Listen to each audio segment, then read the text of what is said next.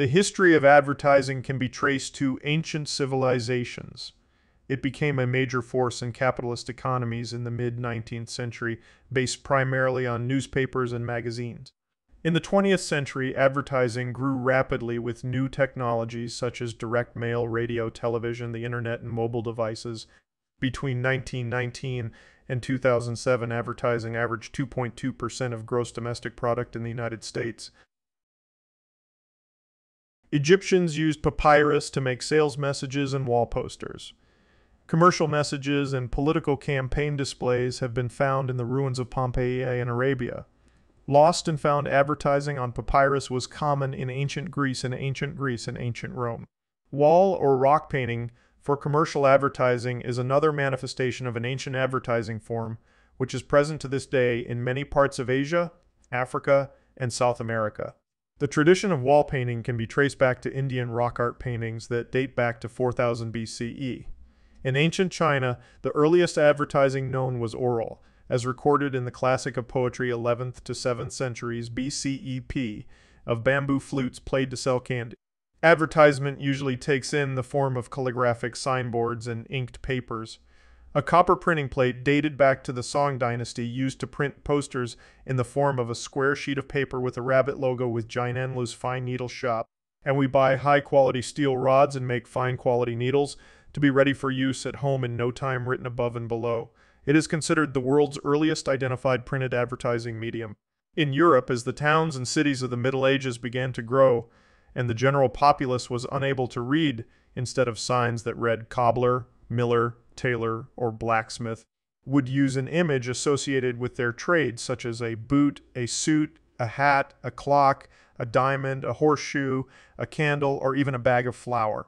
Fruits and vegetables were sold in the city square from the backs of carts and wagons, and their proprietors used street callers, town criers, to announce their whereabouts for the convenience of the customers. The first compilation of such advertisements was gathered in Les Criers de Paris, Street Criers of Paris, a 13th century poem by Guillaume de la Villeneuve. Three major forms of advertisement existed during the pre printing period before the 15th century. Those forms were trademarks moon, stars, etc., town criers, and signboards. Trademarks. The practice of attaching seals or marks to products was widespread in antiquity. Around 4,000 years ago, producers began by attaching simple stone seals to products which, over time, were transformed into clay seals bearing impressed images, often associated with the producer's personal identity. Some of the earliest use of maker's marks, dating to about 1300 BCE, have been found in India. By the medieval period, hallmarks were applied to high-value goods such as precious metals, and assayers were appointed by governments to administer the system and ensure product quality. Town criers. In ancient towns and cities where the majority of citizens were illiterate, town criers were appointed to call out official announcements and general news. Before long, private individuals began to employ public criers to act as an auctioneer. At the same time, itinerant hawkers developed a system of street cries to promote their goods and services.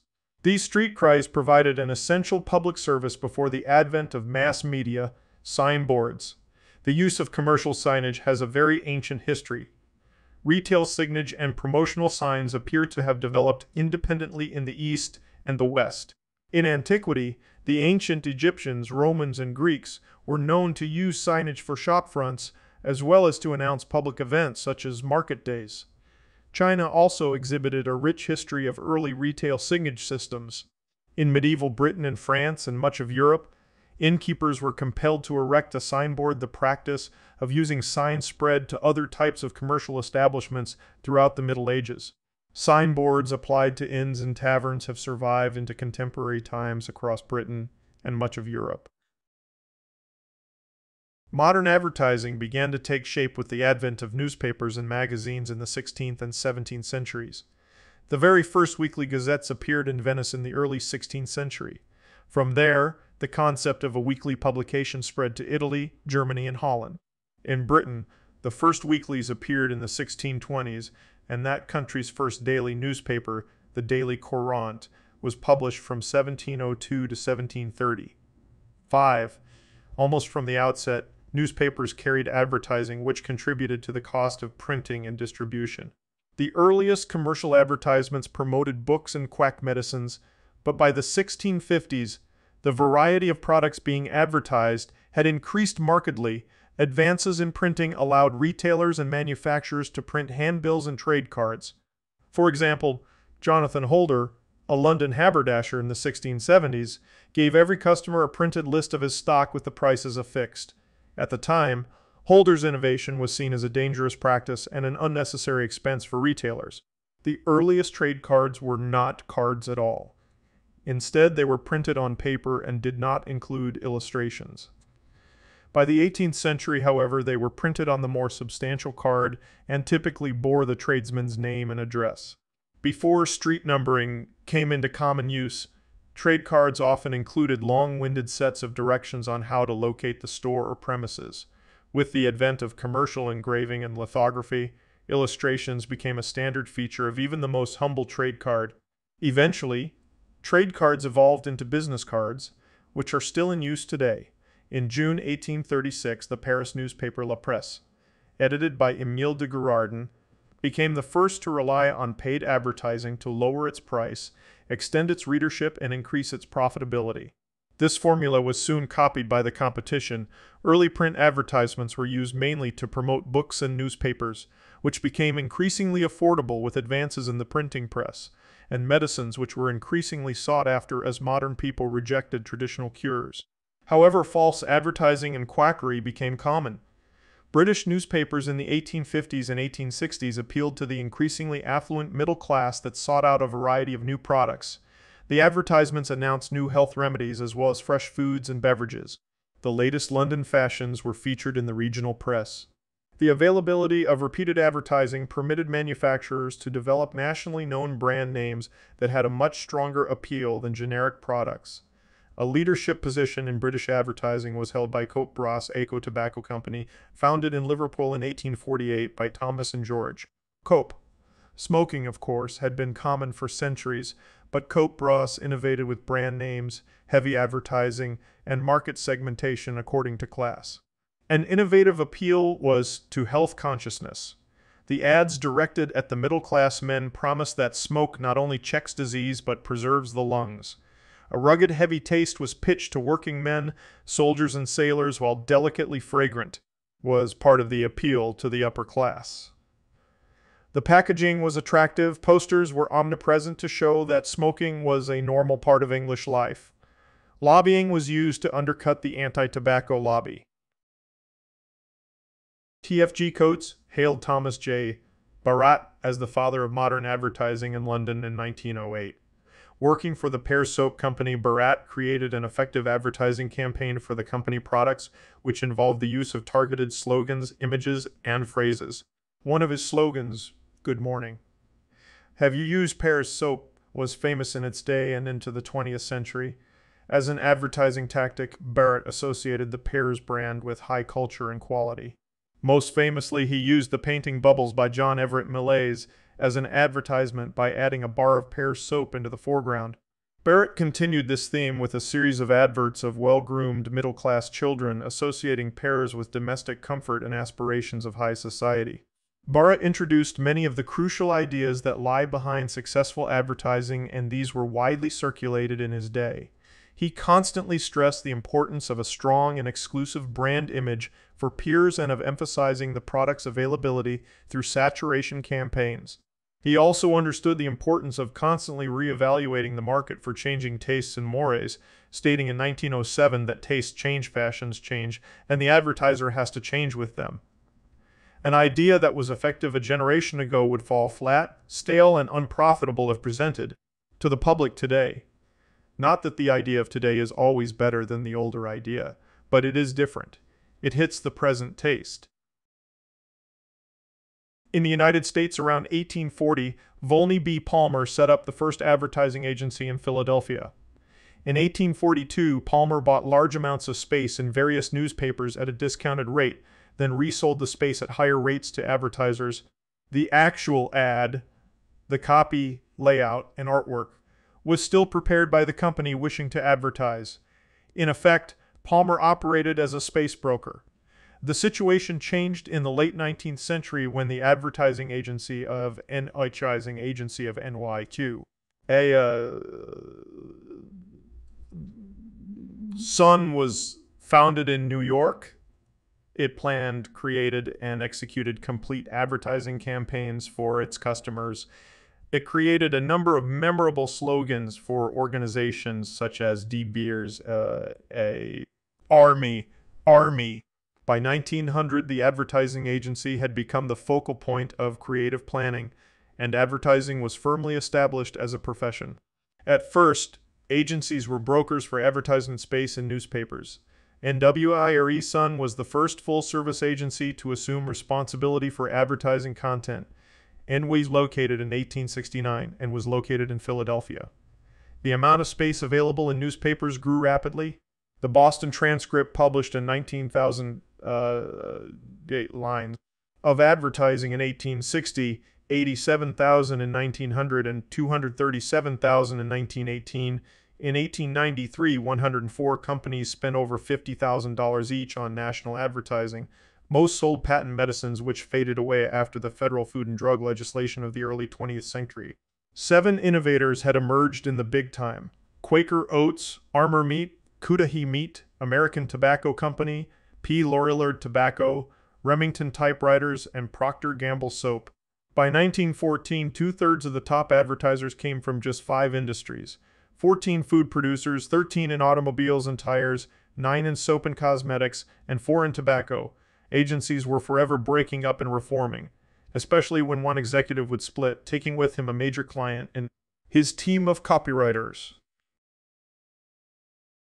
In the late 19th century in France, Charles Louis Havas extended the services of his news agency, Havas, to include advertisement brokerage, making it the first French group to organize Advertising in the developing world was dominated by agencies in the imperial powers, especially from London and Paris. J. Walter Thompson became the first American agency to expand internationally with the opening of J. Walter Thompson London in 1899. It expanded across the globe, becoming one of the first American agencies in Egypt, South Africa, and Asia. Much of the pressure to expand came from General Motors, which wanted to export its automobiles worldwide.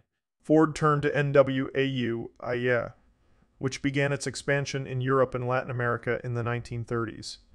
The typical policy was to put an American manager in charge and hire a staff drawn from locals who had a better understanding of the language and the culture. In 1941, 42, however, Ayer closed its foreign offices and decided to concentrate on the American market. In 2011, spending on advertising reached $143 billion in the United States and $467 billion worldwide today. Internationally, the largest big four advertising conglomerates are Interpublic, Omnicom, Publicis, and WPP. Advertising increased dramatically in the United States after 1870 as industrialization expanded the supply of manufactured products to a very large market. In order to profit from this higher rate of production, industry needed to recruit workers as consumers of factory products. It did so through the invention of mass marketing designed to influence the population's economic behavior on a larger scale. Total advertising volume in the United States grew from about $200 million in 1880 to nearly $3 billion in 1920. In the 1920 in the 1920s, many admin believed that human instincts could be targeted and harnessed, sublimated into the desire to purchase commodities. Edward Bernays, a nephew of Sigmund Freud, promoted the approach, making him a pioneer of modern cigarette advertising. Glantz argues it was really the tobacco industry from the beginning that was at the forefront of the development of modern, innovative advertising techniques. In the 1920s, under Secretary of Commerce Herbert Hoover, the American government promoted advertising. Hoover himself delivered an address to the Associated Advertising Clubs of the World in 1925 called Advertising is a Vital Force in Our National Life. In October 1929, the head of the U.S. Bureau of Foreign and Domestic Commerce, Julius Klein, stated advertising is the key to world prosperity. This was part of the unparalleled collaboration between business and government in the 1920s. According to a 1933 European Economic Journal, advertising was a vehicle for cultural assimilation, encouraging immigrants to exchange their traditional habits and tastes in favor of a modern American lifestyle. An important tool for influencing immigrant workers was the American Association of Foreign Language Newspapers, AAAFLN, the AAFLN. AAAFLN was primarily an advertising agency but also gained heavily centralized control over much of the immigrant press. In 1900, most Canadian newspapers were local affairs, designed primarily to inform local partisans about the provincial and national political scene. The publishers depended on loyal partisan subscribers as well as contracts for public printing controlled by the political parties. With the rise of national advertising agencies after 1900, a major transformation was underway. The advertisers wanted them to reach the maximum possible circulation, regardless of partisanship.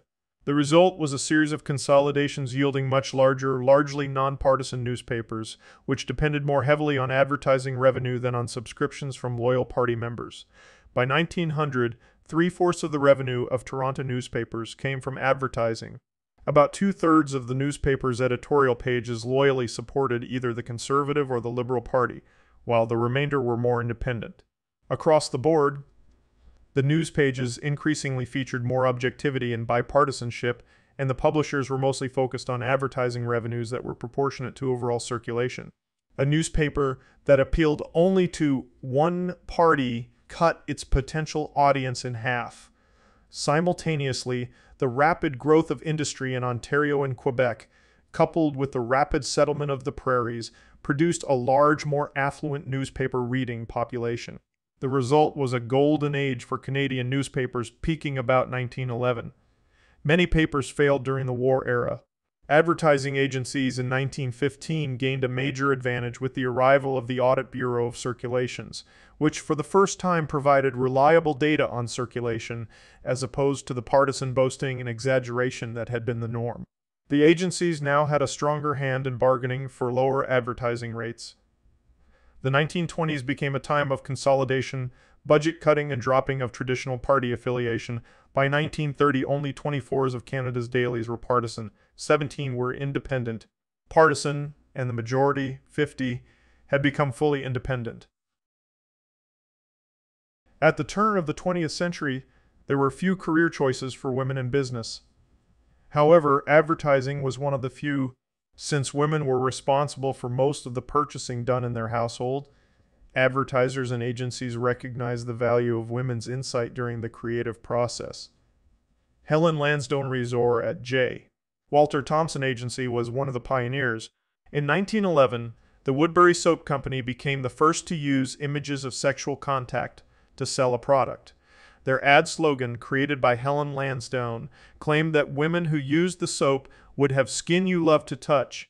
Her copy promised the soap would increase the beauty of one's skin. It offered a color print and a week's supply of the soap for 10 cents. The slogan became so popular that Woodbury used it until the 1940s. Albert Lasker said the ad's use of sex appeal made it one of three great landmarks in advertising history. It was ranked 31st on Advertising Age's list of the top 100 campaigns of the 20th century. In 1936, Woodbury was one of the first companies to use nudity in its advertisements. The ad, known as the Sunbath, was photographed by Edward Steichen and showed a nude woman lying on stairs on her side with her back to the camera. The text advertised that Woodbury soap was now enriched with filter sunshine. Many celebrities appeared in advertisements for Woodbury soap. In international perspective, a 2008 comparison of nudity in advertising in Brazil, Canada, China, China, Germany, South Korea, Thailand, and the United States reveals that China and the United States reveals that China and the United States have the most demure AIDS, while Germany and Thailand expose more of the female body. There is little variation in male undress. In the early 20th century, psychologists Walter D. Scott and John B. Watson contributed applied psychological theory to the field of advertising. Scott said, Man has been called the reasoning animal, but he could with greater truthfulness be called the creature of suggestion. He is reasonable, but he is to a greater extent suggestible. He demonstrated this through his advertising technique of a direct command to the consumer. The former chair at Johns Hopkins University, John B. Watson, was a highly recognized psychologist in the 1920s. After leaving the field of academia, he turned his attention towards advertising where he implemented the concepts of behaviorism into advertising. This focused on appealing to the basic emotions of the consumer love, hate, and fear. This type of advertising proved to be extremely effective as it suited the changing social context, which led to heavy influence of future advertising strategy and cemented the place of psychology in advertising. Chicago, along with New York, was the center of the nation's advertising industry. Albert Lasker, known as the father of modern advertising, made Chicago his base 1898-1942. As head of the Lord and Thomas Agency, Lasker devised a copywriting technique that appealed directly to the psychology of the consumer. Women seldom smoked cigarettes. He told them if they smoked Lucky Strikes, they could stay slender. Lasker's use of radio particularly with his campaigns for Palmolive soap, Pepsodent toothpaste, Kotex products, and Lucky Strike cigarettes, not only revolutionized the advertising industry, but also significantly changed popular culture. Lasker had an inquiring mind about what advertising was and how it worked. Lasker believed that advertising consisted of news and information was news. He changed his mind when a colleague, Johnny Kennedy, told him, News is a technique of presentation, but advertising is a very simple thing. I can give it to you in three words. It is salesmanship in print. Lasker and Kennedy used this concept with the 1900 Washer Company, later Whirlpool. Their campaign was so successful that, within four months of running the first ad, they attracted additional clients and their advertising spend went from $15,000 a year to $30,000 a year to $30,000 a month. Within six months, their firm was one of the three or four largest advertisers in the nation. In 1908, Lasker recruited Claude C. Hopkins to the firm specifically to work on the Van Camp Packaging Company, Van Camp's, account. The relationship lasted for 17 years. Lasker helped create America's infatuation with orange juice. Lord Thomas acquired the Sunkist Growers Incorporated account in 1908 when the citrus industry was in a slump. Lasker created campaigns that not only encouraged consumers to eat oranges, but also to drink orange juice. Among Lasker's pioneering contributions was the introduction into public schools of classes that explained to young girls about puberty and menstruation, one to promote Kotex tampons. He is also credited as the creator of the soap opera genre and using radio and television as media driven by advertising. Lasker took time off from business to help the presidential campaign of Republican Warren Harding in 1920 using high powered advertising techniques that helped produce a massive landslide.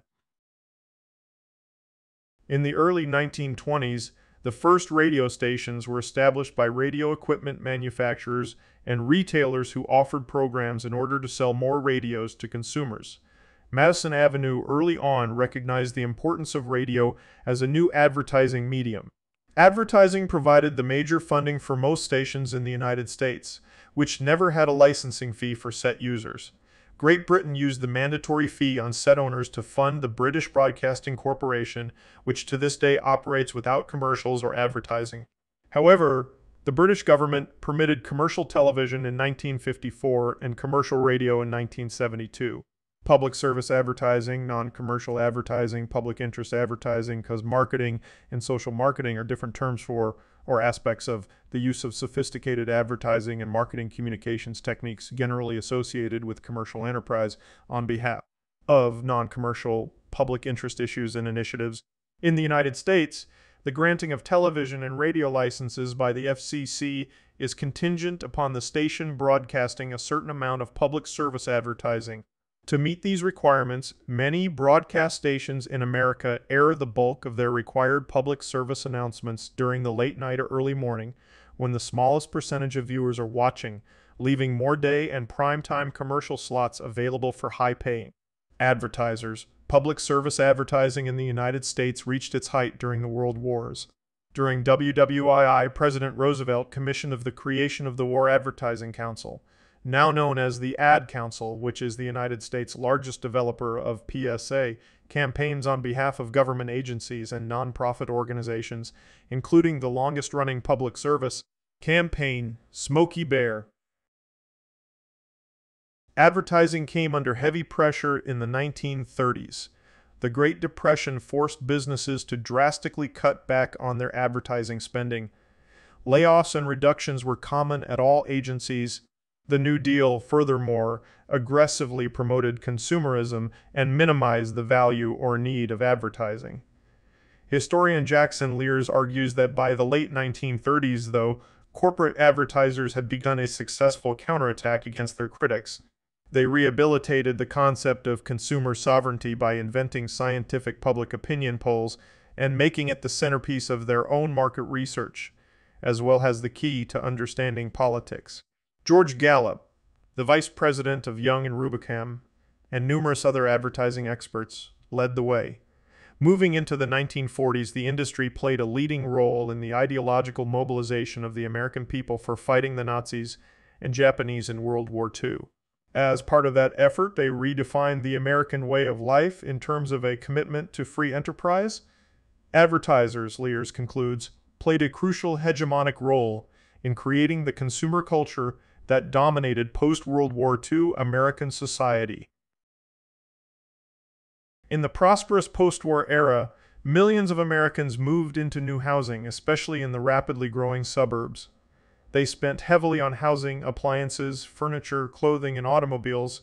The coming of television in the 1950s dramatically enlarged the arena for advertising. With most families having automobiles and more leisure time, travel holidays became much more common, and the motel and tourism industries eagerly supported large-scale advertising. In the public service arena, the Ad Council aggressively promoted Americanism as a Cold War strategy, with campaigns such as the Freedom Train, the Crusade for Freedom, Religion in American Life, Atoms for Peace, and People's Capitalism. The New Brand Names Foundation sponsored conferences, local campaigns, and educational programs to promote brand loyalty as well as free enterprise. In The Hidden Persuaders, 1957, popular writer Vance Packard exposes the use of consumer motivational research and other psychological techniques, including depth psychology and subliminal tactics. They had been used to manipulate expectations and induce desire for products since the 1920s, but the popular audience was caught by surprise. He identified eight compelling needs that advertisers promise products will fulfill. According to Packard, these needs are so strong that people are compelled to buy products to satisfy them. The book questions the morality of using these techniques. Before the civil rights movement of the 1950s and 1960s, black people were largely missing from mainstream white advertising. Those who did appear typically followed the long-standing hierarchy of skin color, whereby those with lighter skin tones were seen as being more socially and culturally acceptable than dark-skinned black people. Most national corporations before the 1960s ignored the black market and paid little attention to working with black merchants or hiring blacks for responsible positions. Pepsi Cola was a major exception as the number two brand fought for parity with Coca Cola. The upstart soda brand hired black promoters who penetrated into black markets across the South and the urban North. Journalist Stephanie Capparell interviewed six men who were on the team in the late 1940s. The team members had a grueling schedule, working seven days a week, morning and night, for weeks on end. They visited bottlers, churches, ladies' group schools, college campuses, YMCAs, community centers, insurance conventions, teacher and doctor conferences, and various civic organizations, teacher and doctor conferences, and various civic organizations. They got famous jazzmen such as Duke Ellington and Lionel Hampton to give shoutouts for Pepsi from the stage. No group was too small or too large to target for a promotion. Pepsi advertisements avoided the stereotypical images common in the major media that depicted one-dimensional Aunt Jemimas and Uncle Bens whose role was to draw a smile from white customers. Instead, it portrayed black customers as self-confident middle-class citizens who showed very good taste in their soft drinks. They were economical too, as Pepsi bottles were twice the size. By the late 1960s, more than a few token blacks were hired at advertising agencies, and the sensitivity to the problem increased. The leading black magazines Essence and Jet routinely deplored racism in mainstream media, especially in the negative depictions of black men and women. However, Essence and Jet in the 21st century themselves ran about a dozen ads a year, especially for skin lighteners that were pervaded with racism and white supremacy. By the 1950s, fears of cancer from tobacco smoking caused consternation in the tobacco industry, which turned to advertisers for help in avoiding falling consumer demand and increased regulation. British and American agencies separately arrived at similar solutions. The Tobacco Industry Research Committee in the United States and the Tobacco Manufacturers Standing Committee in Britain each assuaged public anxieties and encouraged the misperception that the cigarette makers were resolving the issues through filters and low tar formulations. The public relations approach was successful in the short run, but the accumulation of medical evidence led to a fall in smoking, heavier taxation, and increased regulation. The agencies responded with sophisticated advertising strategies designed to encourage adolescent smokers as well as to recruit new smokers in less developed foreign markets. The late 1980s and early 1990s saw the introduction of cable television and particularly MTV, pioneering the concept of the music video MTV. You, heard in a new type of advertising. The consumer tunes in for the advertising message rather than it being a byproduct or afterthought. As cable and satellite television became increasingly prevalent, specialty channels emerged, including channels entirely devoted to advertising such as QVC, Home Shopping Network, and Shopped KVC, Home Shopping Network, and Shopped Canada. With the advent of the ad server, marketing through the internet opened new frontiers for advertisers and contributed to the dot com boom of the 1990s. Entire corporations operated solely on advertising revenue, offering everything from coupons to free internet access.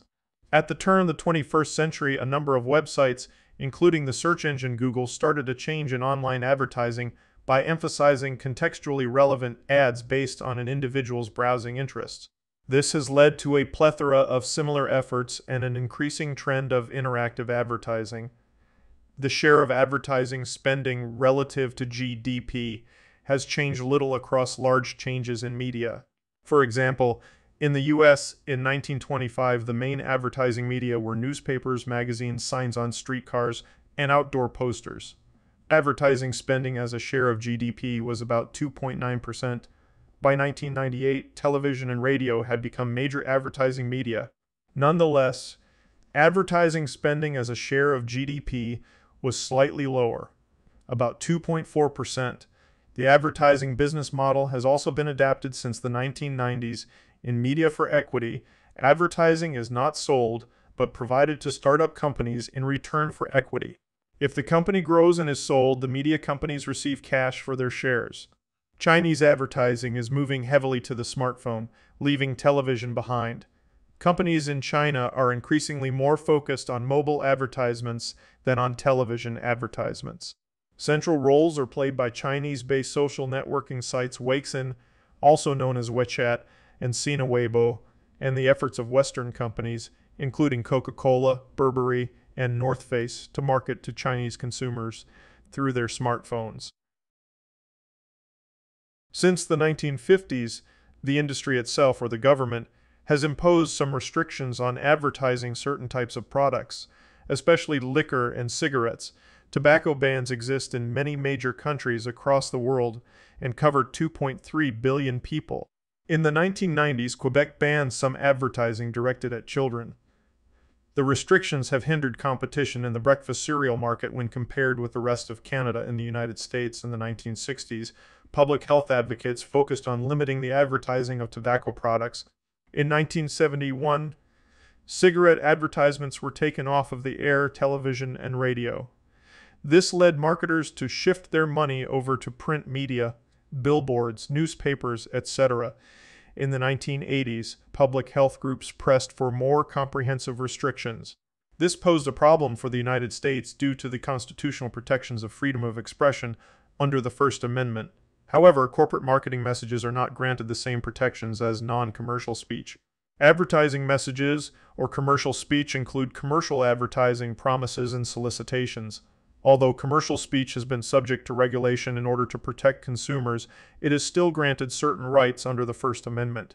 Even a communication that does no more than propose a commercial transaction is entitled to the coverage of the First Amendment. Edenfield v. Fain, 1993. J. Walter Thompson became the first American agency to expand internationally with the opening of J. Walter Thompson London in 1899. Marcel Bleustein-Blanchet, 1906. 1996 was the most prominent leader of French advertising in the 20th century. He founded Publicis. After 1945, his little-known Paris-based advertising agency grew rapidly, becoming the world's fourth largest agency. It was a leader in promoting France's post-war economic boom, especially the expansion of the advertising industry. It was successful because of its close ties with top officials of the French government, its clever use of symbols to promote itself, and its ability to attract clients from widely diverse growing industries. The question of whether advertising reflects society or shapes society can be seen in European models that diverged from the American style. In France, Michelin dominated the tire industry and was one of the leading advertisers. To this day, its famous guidebooks are very widely used by upscale travelers. From 1894 to the present, its symbol was Bibendum, the Michelin man made of tires. He was a lord of industry, a master of all he surveyed, and a patriotic expounder of the French spirit. In the 1920s, Bibendum urged Frenchmen to adopt America's superior factory system, but to patriotically avoid using the inferior products of those factories. As automobiles diffused to the middle classes, Michelin advertising likewise shifted downscale, and its restaurant and hotel guides covered a broader range of price categories. J. Walter Thompson expanded successfully in many countries, but France was not one of them. French businessmen did not like the American tone and were fearful of Americanization. The French market was heavily regulated and protected to repel foreign interests, and the American admin in Paris were not good at hiding their condescension and insensitivity. As millions of American soldiers passed through Britain during the Second World War, there were fears of an Americanization of British commerce and culture the Marshall Plan explicitly required an upgrading of the marketing and organizational skills of British industry. There were fears among the leaders of the London advertising world of what the brash, rich Americans would do to them. Radio and television was off limits to advertising because BBC relied on fees paid by owners of radio receivers. The question was whether the heavily funded American methods would prove irresistible. JWT London was an American-owned advertising agency controlled by J. Walter Thompson in New York City. J. Walter Thompson in New York City. JWT London avoided being the bold apostle of the American style. Instead, it has relied on soft persuasion, shedding its Americanness to adapt to the British understated style. In the 1920s, most advertising was handled by manufacturing companies in-house. Numerous small advertising agencies handled purchase of space in the media, but did not design campaigns or the ads themselves. An important role was played by traveling salesmen in promoting products to wholesalers and retailers and providing feedback from the market to the producer. During the Nazi era 1933, 45 the advertising industry expelled its Jews and came under the supervision of the Ad Council for the German economy a department of the propaganda ministry of Joseph Goebbels. The relationship was friendly, for the industry learned a great deal from the Nazi propaganda techniques. The industry promoted Hitler's favorite products, such as the promised Volkswagen automobile for the people and the construction of autobahns. It emphasized the availability of trusted brands despite growing shortages after the war began in 1939. It helped support the regime articulating a vision of consumption that was well aligned with the Nazi spirit. In some environments and social movements, such as with post-W2 East Germany Stasi Zersetzung criminology theorists estimated advertisement was used as a means to crime, the nature of the crime was the intentional exploitation of an individual to cause damage to the individual's ability to form social bonds and appropriate perceptions of the world. This is especially true in the case of manipulation. People take advantage of their underdeveloped social skills and exploit them for selfish gain. This was later criticized to be adopted by turpidicized to be adopted by turpitude agents of modern advertising. Many major brands were off the market by 1944 because of severe shortages. When they returned after the war, they were welcomed as an index of normality and were not associated with Nazism. By the 1950s, German advertising agencies were starting to mimic American methods. Coca-Cola was advising Mach mal Pause, take a rest. And conservative Chancellor Konrad Adenauer was running for re-election with the slogan Keine Experimente. No experiments. The German agencies have always remained small and limited in scope, even after the unification of East Germany and West Germany and West Germany in 1991. After unification, Germany became the third largest market in the world, with $18 billion in total ad spending in 1994. The American influence became strong in Italy after 1945. The high risk of communist success led the American government to invest heavily in propaganda activities. Several American firms opened offices including Young Rubicam and Ogilvy Mather. Italian graphic designers most prominently Armando Testa, were inspired by modernist aesthetics and thinking brought in by the American advertising agencies and techniques in Italy. The advertising industry helped transform Italy into a consumer-oriented society. A dramatic example of how advertising nudged the Italian middle class into modern consumer society appears in the heavily advertised automatic washing machine. It appeared on the Italian market in 1950 and by 1965, 23 of families had purchased one, reaching 42 by 1970. Advertisers hailed the mechanization of domestic tedium as the advent of a new women's liberation. Commentary appeared everywhere, from advertisements to the specialized press to women's reviews.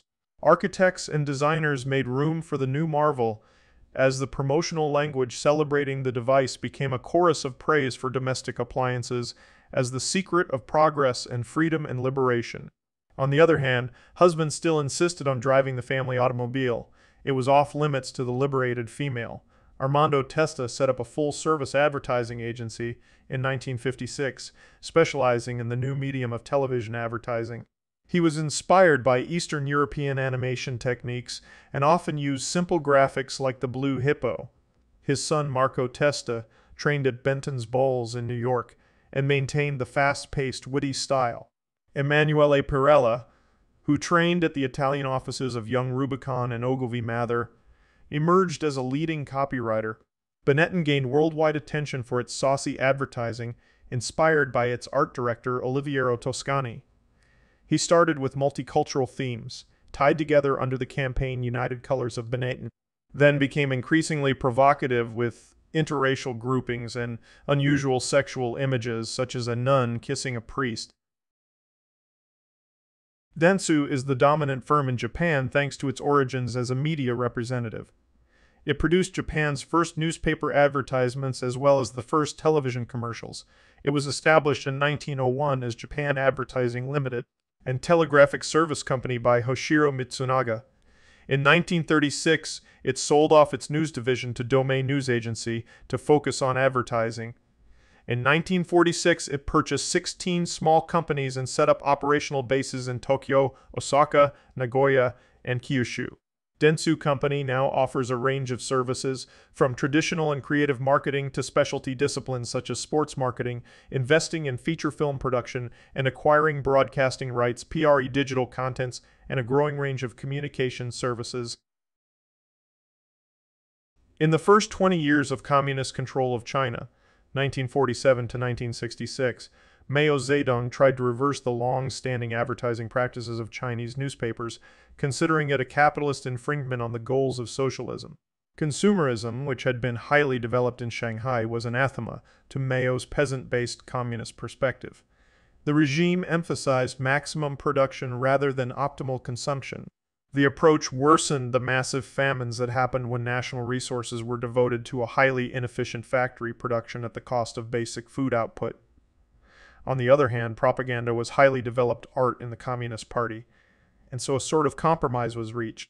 Socialist oriented advertising emphasized the collective good rather than the benefits of products for the individual consumer. Since 1980, the strength of the private economy and advertising has grown dramatically. By the 1980s, much emphasis was placed on the role of advertising in promoting the four modernizations emphasized by Deng Xiaoping. Lip service is still paid to old Maoist ideals by recycling images of historic places and episodes, but it does not inhibit the growth of consumerism since Chinese entry into the World Trade Organization, since Chinese entry into the World Trade Organization, its advertising industry has fundamentally changed. It has become the world's fastest growing advertising market and the country with the largest pool of netizens. Major changes have come in terms of shifting cultural values, the growing role of brand names, the attractiveness of English language titles to the younger generation, the redefinition of acceptable offensive advertising, the very rapid growth of new media, especially the internet and smart phones. The emergence of online shopping in a country with an underdeveloped system of department stores and shopping centers, and much more advanced techniques of managing advertising agencies. Many elements of Indian culture and industry have British roots so that British advertising models usually work well. In 1991, the government dramatically liberalized Indian economy, opening it to international business. The emergence of a moderately affluent middle class numbering in the hundreds of millions attracts multinational corporations and international advertisers. Advertising in India operates at two levels. Ads for high value products appear in English language papers such as the Hindu and the Madras Mail, which targeted Europeans and high status Indians. By contrast, ads for low value products are typically placed in vernacular papers and are aimed at a lower middle class with highly restricted spending power. The working class and peasant populations with very low disposable incomes are seldom targeted by the advertising agencies. Local merchants might use signs and posters to reach them. Cricket is one sport where the Indians have had an international success, so that cricket stars are prominent endorsers and national advertising subtle cultural norms can be easily transgressed. In 2002, widespread protests forced Hindustan Lever Limited the Indian subsidiary of London-based Unilever, to cancel a television ad campaign for its fairness cream because of its portrayal of women. The campaign was built around the theme of a father lamenting if only I had a son, while showing his problem, a dark-skinned, unattractive daughter. Fast forward. She uses the fair, lovely cream and has become a gorgeous, light-skinned beauty. Clad in a stylish miniskirt, she is a successful airline flight attendant and takes her proud father to dine at a five-star hotel. The All India Women's Democratic Association, AIDWA, a far-left political organization, lodged a complaint with the National Human Rights Commission in New Delhi. It argued endorsing the traditional preference for sons strengthens gender discrimination, which is a major problem in India. Furthermore, said AIDWA, the ad perpetuated a culture of discrimination in a society where fair skin is synonymous with beautiful. The government's Ministry of Information and Broadcast sided with AIDWA and directed stations not to air the ads because they violated the Cable and Television Networks Act of 1995, which states that no advertisement shall be permitted which derides any race, caste, color, creed, and nationality. And furthermore states that Women must not be portrayed in a manner that emphasizes passive submissive qualities and encourages them to play a subordinate secondary role in the family and society. The minister told Parliament that if broadcasters do not regulate odd content, the government will be forced to do so. The Mumbai-based Advertising Standards Council of India, ASCI, a body of advertisers and media agencies, insisted that it should do the regulating, not the government, a uh, CI uh, had already told Hindustan Lever that its ad campaign was offensive and it was ended. During the decolonization era from the late 1940s to the 1970s, British and French firms operating in Africa and Asia at first largely ignored local nationalistic aspirations. However, they learned to adjust to exploit the new spirit of independence that was shaping consumer attitudes. The new emergence of a middle class was the target audience. Their advertising abandoned the traditional paternalistic attitude toward the natives. Instead, there was a portrayal of locals as up and coming middle class men in control of developing their nations. These more positive images assisted business operations during spells of military dictatorship, economic nationalism, and expropriation of foreign assets. Tobacco advertising was especially important. For example, in Egyptian popular culture, the cigar was associated with elites, the water pipe with a lower class and traditional lifestyle, and the cigarette with the new middle class, which was striving to make the transition to modernity. It was the third group that the cigarette industry targeted. Brazil is the largest country in Latin America and number five in the world in terms of population. Its economy grew rapidly in the 21st century until it began to stall in 2010. At that time, it was the world's sixth biggest advertising market at US 14.2 billion. Brazil in 2010 ranks one in deodorants, two in children's products, and in cosmetics, and three in cosmetics, and F-Ray in cosmetics, and Etherar in automobile sales. The start in 1994 of the North American Free Trade Agreement had a dramatic impact on the advertising industry in Mexico, with its 130 full service agencies and 270 smaller operations under the auspices of the Mexican Association of Advertising Agencies. The flood of American brand name products greatly expanded the scope of the advertising industry, and the Mexican agencies faced new competition from branch offices of international firms. A key to the new market was that upscale consumers in Mexico typically display malinchismo, which is a preference for imported American brands rather than local Mexican brands. As a result, American products are sold mostly to the middle class market, and their advertising agencies generally avoid working class and rural areas. They concentrate their efforts instead on Mexico City, Monterrey, and Guadalajara, which purchase 70% of the American imports. Advertising battles in Mexico include not only issues of quality, but issues of national authenticity. For example, in Mexico in the 1990s, two American exporters, Procter's Gamble and Frito, lay fought an advertising battle concerning whose potato chips are tastier, more natural, and more Mexican. Procter uh, Gamble challenged Frito-Lay's Sabritas, which controls 80% of the 1 billion chip market.